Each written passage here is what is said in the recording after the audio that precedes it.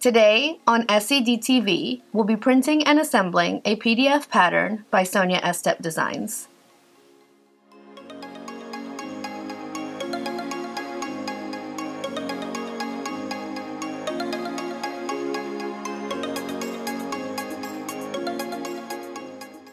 Let's talk about the layers feature and the printer settings you'll need to print your SED pattern.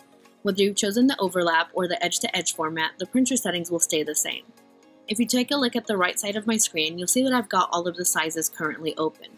To print only one of those sizes, or only a couple of those sizes, you can come over here to the left side of the screen and click on the icon that looks like three stack sheets of paper. When you do that, it opens up all of the sizes included in the pattern. You'll want to go through and deselect the sizes you don't need. To do that, you'll just click on the eye icon beside those sizes. So in this case, I'll keep the size 10 and the size 8. I can come down and finish deselecting those that I do not need. The only things that will be left will be the sizes I do need and the base layer which is always locked. Once I've done that, I'm ready to print my pattern. So I'll come to the printer icon, click on it, so that I can take a look at my settings and make sure that everything is where it's supposed to be.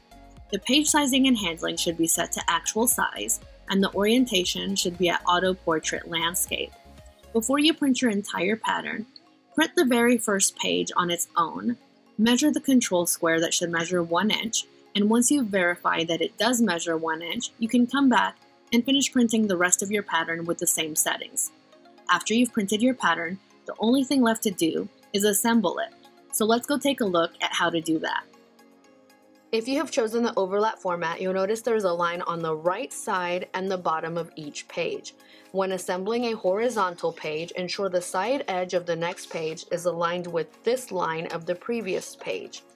When assembling a vertical page, ensure the top edge is aligned with the bottom line of the previous page. You can use glue or tape, just be sure to follow the numerical order during this process. If you have chosen the edge-to-edge -edge format, you'll simply square the edges of each page either horizontally or vertically. You'll need to use tape as you work your way through the numerical order. I hope this was helpful. Be sure to check us out on Facebook, Instagram, and my website, soniaestepdesigns.com. You can find those links in the description below. See you next time.